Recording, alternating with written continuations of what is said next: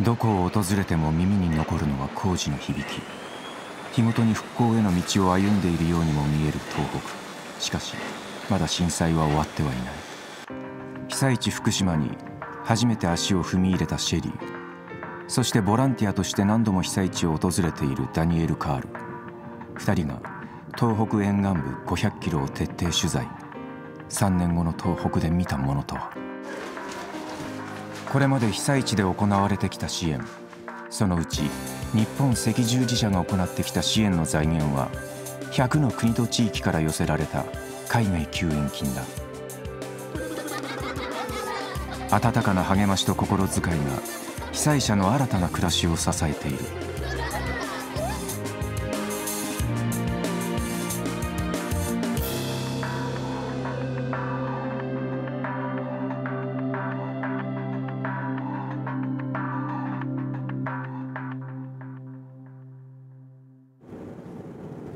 津波が引き起こした史上最悪の原発事故。現在の状況を知るためにシェリーはより一層安全に注意を払い防護服に着替え福島県富岡町へと向かう。この先帰還困難区域につき通行止め。あこれ以上もう行けないんだ。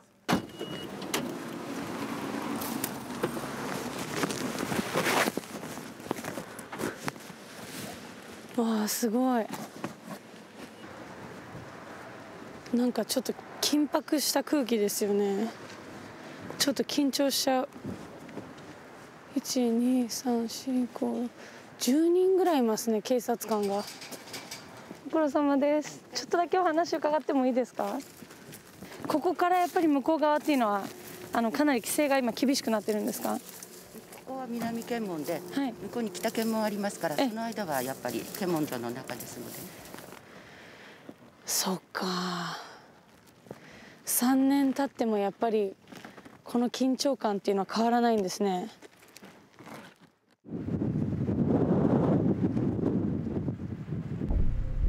町全体が警戒区域にすっぽりと入ってしまった富岡町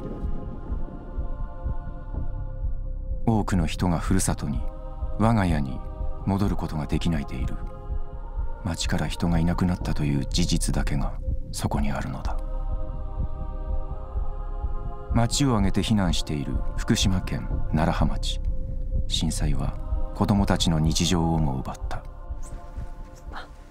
楢葉町立。失礼します。本当だ。本日の放射線量。やっぱりなんかでもこういうの見るとやっぱりちょっと緊張感あるな。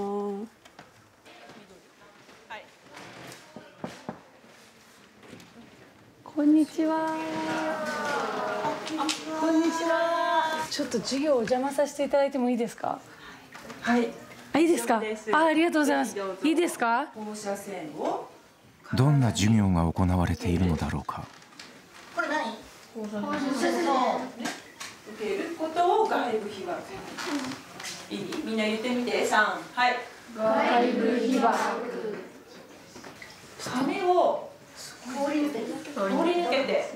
はい、お願いします。はい、家から帰ってきたらここになんか放射線がついてるかもしれないから外部被被爆を防ぐためにこういうふうに払い落としますはい。はい、ゆいとくん大きい声でお願いします。内部被爆を防ぐために野菜とかをきれいに洗うああ、いい考えだよね。丁寧に洗うっていうことだよね。水まで小学校5年生11歳ぐらいの子供でも自分の体を自分できちっと守らなきゃいけないっていう自覚を持ってて、うん、やっぱり本当これがもう毎日向き合ってる現実なんだなっていうのを改めてなんかちょっと感じましたね。はい。放射線による内部被曝は住民の最大の関心事。楢葉町の人たちは無料で測定を受けることができる。あの、日赤さんの方から寄贈されました。あのコールボディカウンターということですね。実際はこの中に直接入っていただいて、はい。こちらを向いて約2分程度えあの入っていただくだけでえー、測定が終わります。こちらを向いていただく形ですね。こっちを向いて。あ。そうですね。安全と安心と将来にわたる健康管理が今後も求められている現在もあちこちに置かれた除染作業による大量の廃棄物が被災地の人々の生活を今も翻弄し続けている。あれ今何されてるんですか？ああちょっとうちのところに見に来たとこです。流されたうち見に来たとこです。あのフェンスのところからしさんが住んでいた土地は除染廃棄物の中間貯蔵施設建設の可能性があるという。第二原発があるんですか、もともと生まれたのは東京電力さんの敷地の中なんです。あそうなんですか、はいええ、ですから原子力発電所に、はい、うん、を誘致するために引っ越すようになって、今回もまたあの中間となれば、うん、まあににあの2回目の引っ越し。私らここ閉じ取られてしまったらお百姓なんで、はい、手足も握られたのと一緒なんですよ。だけども死ぬまで生きなきゃなんないから口だけ残っちゃうんですよ。食べるために。はい、ということは生活していかない。死ぬまで生活していかなきゃならないんです、えー、私らにしてみれば、うん、自分はこれがどうやって生きていくんだろう。この避難しててみんながこうもう精神的にも肉体的にも疲れてる時に、うん、うん、どうしていいかっていうのは先が見えないんですよね。うん震災で両親を亡くし現在石家さんはいわき市内の借家に一人で生活している。震災後これが10軒目の住まいだという。あのちょっと今、はい、目に入ったんですけどお母様とお父様、はい、瓦礫の中から見つかった小さな一枚の写真を合成して作った家。あのご両親のご遺骨は納骨されないんですか、あの中間貯蔵のあお話が持ち上がって、はい、ええ、はい、それでいけない。えそれはじゃあ今お墓がある場所がもしかしたら中間貯蔵、もちろんその通りです。ってなると納骨納骨してもしても全部壊さないと今度の全部骨拾えなくなっちゃうんですよね。結局借り上げ住宅で自分で持ってたっていう。ただ手を合わせ祈ることしかできない。これが震災から3年経ったしけさんの現実なのだ。宮城県女川町。山を切り開いた丘の上に町全体を移す計画を進行中だ。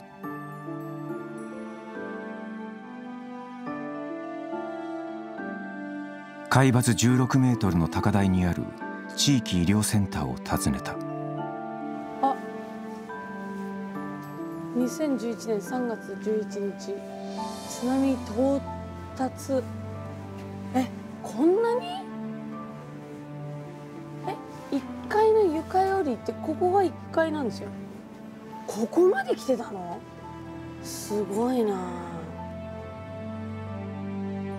医療機関の復旧を最優先事項と定めた女川町は震災からわずか1か月後に再建に着手。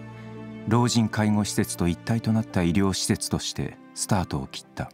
これはですね新あの老人保健施設に入所なさってる方が、えーと、手で指で描かれた絵なんです。ちょうど女川の風景ということで、えーと皆さんで描いていただいた絵なんですが。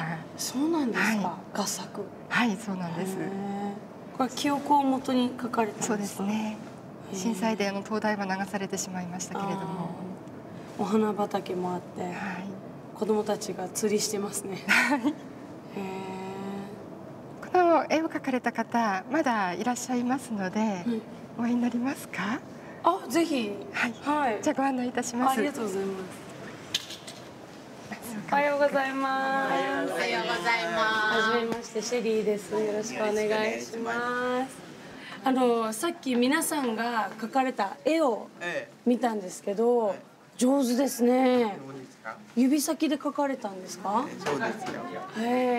今から何が欲しいって言ったら、一番初めに人が戻ってきてほしいっていう話であの人の絵が描いてあったりとか、ね、あとは建物を建てるのは難しい場所かもしれないけれども花が咲いてると人が来るかなとかあと花壇ありましたもんね。いろいろ、ね、あと釣りしてる人とか、うん、やっぱり昔みたいにね、うん、いっぱい立ってね人がどんどん来れるようになればいいですね。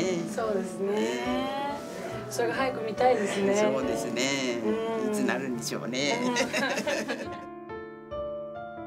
女川町がまた人が集まる賑やかな花であふれる町に戻ってほしいそれが皆の願い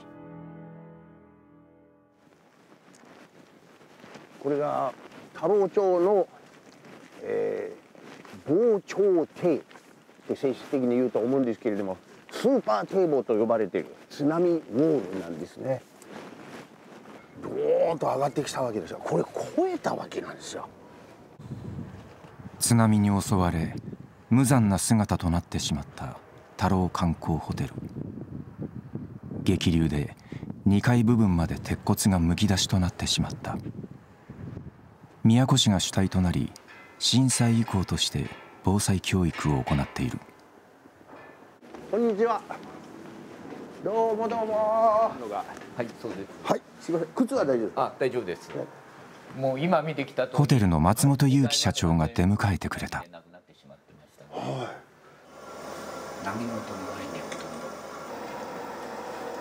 うわ。早く逃げないと。津波切ったよ。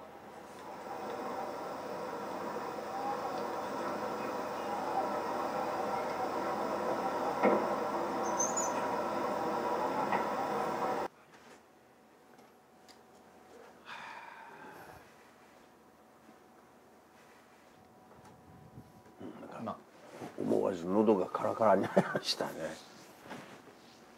やっぱり思い出したくないんだけれども忘れちゃいけない映像ですよね。本当に。本当に津波が起きたこととか津波がどれくらい威力があるんだよとかっていうのをこっちから言わなくても見ただけで、うん、あのこの建物は語ってくれるじゃないですか。はい。あの日の記憶を語り継いでいく役目を担った太郎観光ホテル。撤去を求める声があるのも事実。同じ悲劇を繰り返さぬようあの日のことを伝え続けていく。岩手県山田町。816人もの命が失われたこの地もまた壊滅的な被害を受けた。去年3月に再建された大沢保育園。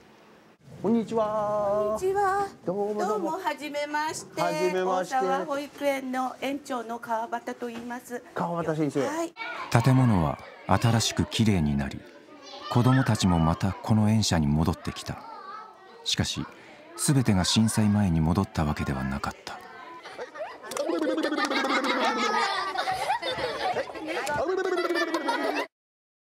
あの日園内に残っていた子どもたちは全員が無事だったのだが一番つらかったのはあの震災の時に、うん、あの保護者に返してしま返したあの子供が、うん、あの津波の被害を受けたことです。私にもっとこうあのいい判断があればお返ししないで、うん一緒に逃げたらなと今でも後悔してます。だからあの立派な演者が立ってもやっぱり、うん、はい、忘れてはいけないことなんです。うん、時が癒してくれる記憶もある。しかし自らの意思で忘れないようにしなければならないこともある。土地区画整理事業が始まった岩手県大槌町地盤を強化させるため盛り土を行い新たな市街地を造成している。大槌町の仮設住宅は不便な山奥に多い。町民のおよそ3分の1は今も仮設住宅で生活している。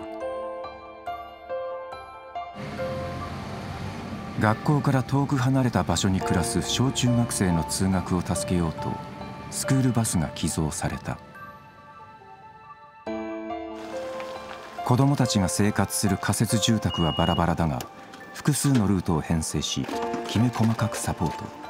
安心して通学部活動などを続けることができるよう支援が続けられている。新たな生活拠点の建設も進んでいる。これは災害公営住宅と呼ばれるもので収入に応じて家賃が設定され仮設住宅とは違ってずっと住むことができる。震災を教訓に高台に設置された防災倉庫。被害の大きかった東北3県の沿岸部27市町村432カ所と広く整備された。宮城県気仙沼市震災で地域唯一の医療機関の存続が危ぶまれ住民は不安に陥った。おはようございます。すいません院長さんですか？院長の川島です。よろしくお願いします。よろしくお願いします。あの院長さんにしては若いですね。あありがとうございます。外パラパラ雪が降ってんのにか。裸裸足ですねすごいですねこれはあの健康法でありますなるほど地震発生から10日後不眠不休で診察に当たっていた当時の院長は病院を去ったそこに現れたのが川島さんえボランティアの委員長さんですか？あそういうことなんですか？ボランティアまあ震災のどさくさで成り上がったっていうまあこういろいろ血液検査のとかあとはいはい、細胞をこう覗いたりとかこういうのはその泥に使って全部流されたので、はい、いやじゃこれ全部新しいんですね。全部買い揃えたってやつね。川島さんは京都大学医学部を卒業後プロボクサーとして活躍していたという異色の経歴の持ち主だ。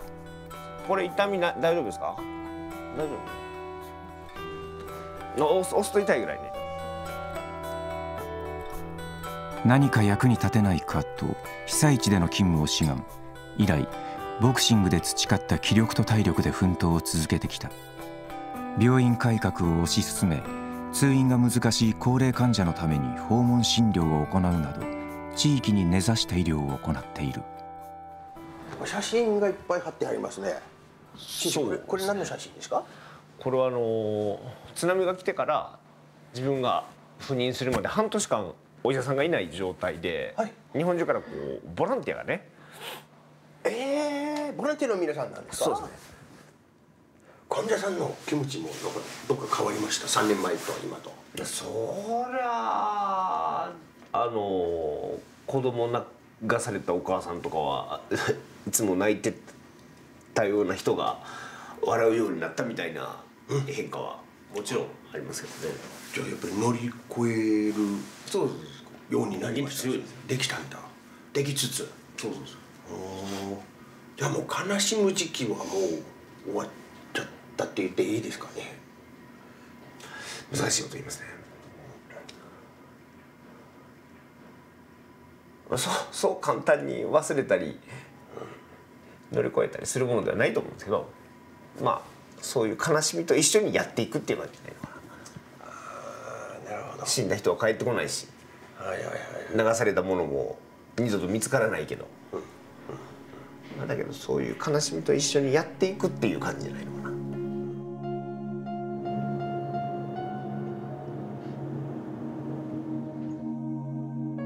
宮城県石巻市。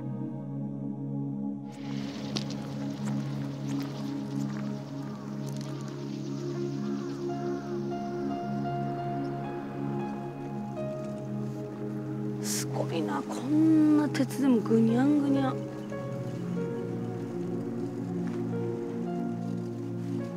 これ全部やるの何年かかるんだろう。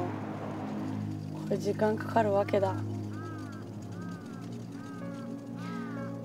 これは3年じゃまだまだ進まないですね。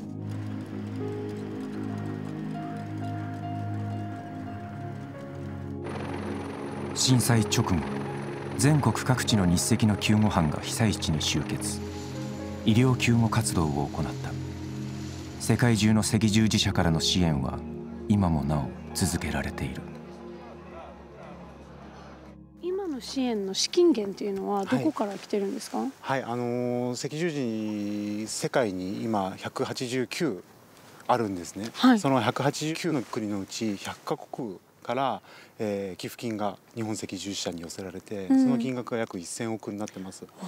その1000億を財源にこの復興支援事業っていうのは行ってます。前例があればそれに習えばいいとは思うんですがこれだけの大規模の災害というのは日本で起きたのは当然初めてですし、はい、支援活動もも先を模索しながら、一個一個考えながら新しい形っていうものを作っていくような状況ですね。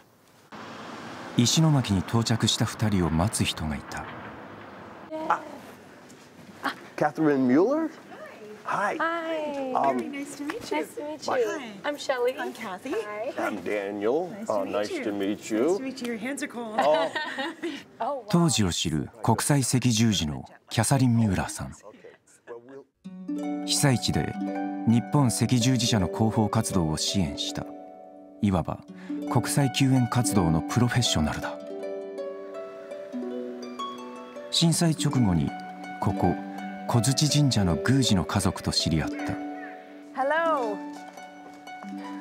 こんにちは。I'm wonderful. It's so nice to see you again and to be back here. There has been so much change over the last three years.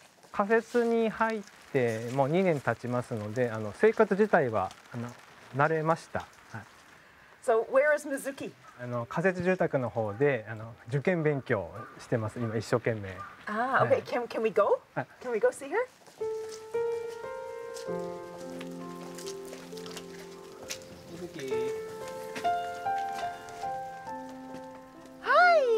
長女の水木さんキャサリンさんが日本を離れた後も何度もメールでやり取りを続けていた。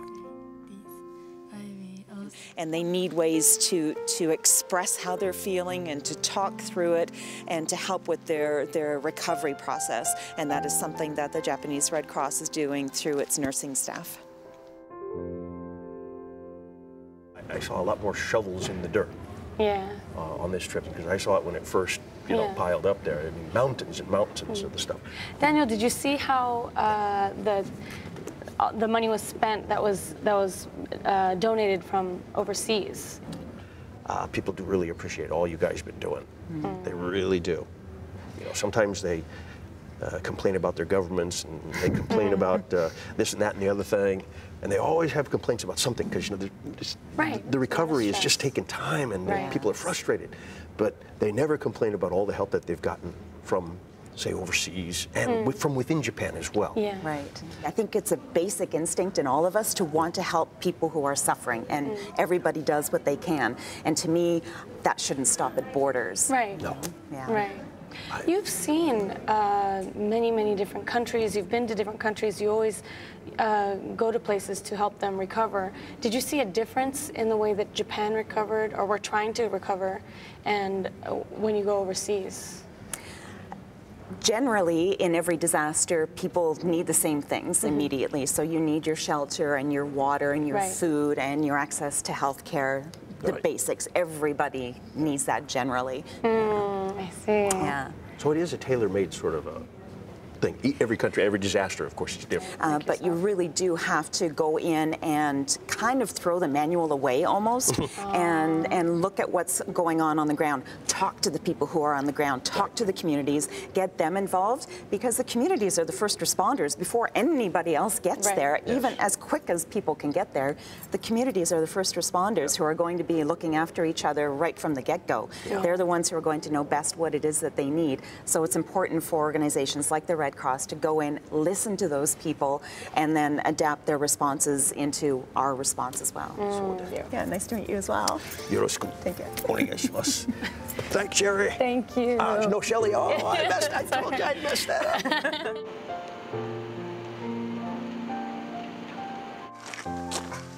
綺麗綺麗だね。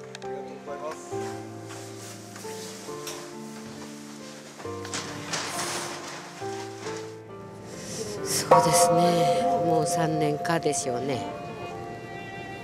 もう3年も経つのかって。3年もいたのか。3年もいてようやく落ち着いてきたような気もするしもう3年が早かったかなとか。複雑ですよね。3年って言っても。すごい綺麗だ3年。それぞれがそれぞれの思いで生きてきた。シェリーとダニエル・カールが歩いた被災地沿岸500キロ。鎮魂祈り希望。そこにはただ悲しみに暮れるばかりではない人々の姿があった。建物の再建は着々と進んでいる。しかし本当の復興のためにはそこに暮らす一人一人の心の復興が欠かせない。支援をされるのも人。支援をするのも同じ人。できることから小さな一歩を踏み出していく。大震災から3年。さらにこれから試されるのは私たち一人一人が持つ人間の力なのだ。